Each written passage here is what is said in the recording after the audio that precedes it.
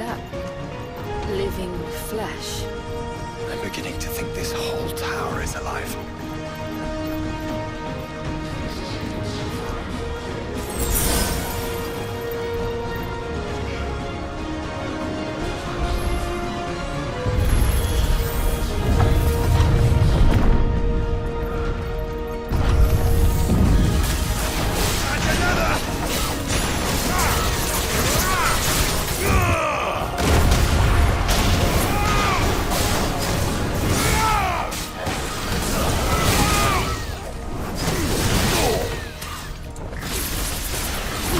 Did